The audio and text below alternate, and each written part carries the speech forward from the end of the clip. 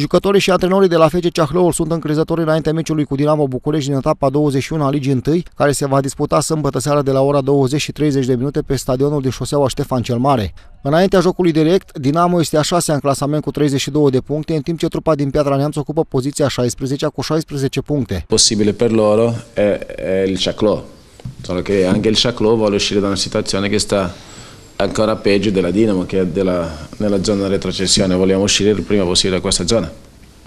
Cu siguranță Ștefănescu va fi titular. Oricum, meciul cu Ceaclău este unul foarte dificil, mai ales că Dinamo vine de la, de, de la două de rezultate foarte negative și vor căuta să aducă trei puncte chiar în meciul cu Ceaclăul și Ceaclăul la rândul său este într-o situație foarte, foarte dificilă pentru că trebuie să salveze de la retrogradare.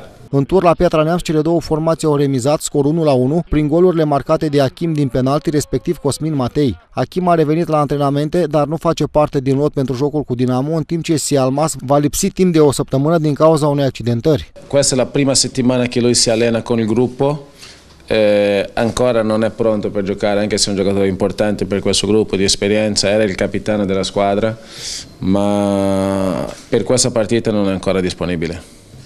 Achim uh, este cu siguranță un jucător important pentru echipă, dar de o săptămână se antrenează cu noi, dar încă nu este pregătit pentru acest meci. Più difficile di, di quello che pensavamo, deve stare fermo minimo una settimana, si sta curando, è andato in Grecia a curarsi e rientra con, con noi venerdì, perciò con, per la partita con la Dinamo non, non è disponibile. Sialmas are o situație mai dificilă decât credeam, este acum în Grecia, se, se tratează și se va reuni echipei vineri. Partida Dinamo Ceahlău se joacă în etapa 21, etapa care a început cu meciul dintre Concordia Chiajna și Asia Târgu Mureș și se va încheia luni seară cu derbiul dintre Panduri și Steaua.